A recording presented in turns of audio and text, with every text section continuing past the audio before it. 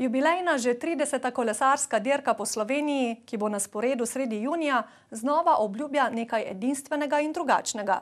V petih dneh bodo kolesari prevozili kar 840 km, dirkalo bo 22 vrhunskih ekip, od tega kar šest najvišje kategorije. Kolesarska dirka po Sloveniji je v zadnjih letih postala eden najbolj težko pričakovanih športnih dogodkov pri nas. Junija se nam obeta kolesarski praznik, dirka po Sloveniji, 30. izvedba. Ja, dirka, je, dirka bo potekala po celih regijah Slovenije, tako da je lepo, da so tudi prišli novi kraji. Um, in da recimo nastopamo v štirih državah. Tehnično je dirka vse sosednje države, to je po letu 2004 prvovrstni dogodek, predvsem pa prvo etapo, kjer bomo vključili vse tri sosednje države. Mislim, da še nobena etapa ali dirka kolesarska ni gostovala v enem dnevu v štirih državah.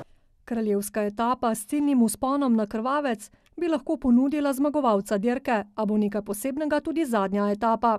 Prva etapa je najdaljša in pa z, največ, z najmanj višinskimi metri, potem pa je vsaka etapa težja in na koncu tudi dolenska etapa, ki je predvsem zadnja, ki bo dolensko obarvana, od Četrneja do Novega mesta z vključenim zadnjim sponom na Veliki bani iz Kostanjevice, potem tudi Tovsti vrh in pa Trška gora. Skupaj bo na dirki nastopilo rekordnih 154 kolesarjev, sicer pa je Domen Novak z ekipo UAE, v kateri vrti pedala tudi Tadej Pogačar, odlično začel novo sezono. Za svetovno prvenstvo vem, da bom nastopil, vem, da ima v planu tudi Tadej in da, da je namotiviran. Um,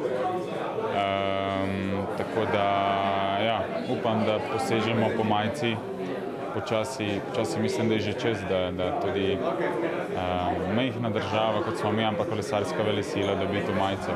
Njegov cilj je tudi nastop na olimpijskih igrah, predtem pa bo na slovenskih cestah spet vroče, saj ima smele načrte tudi ekipa kolesarskega kluba Adria Mobil. Jubilejna dirka po Sloveniji bo prava poslastica za vse.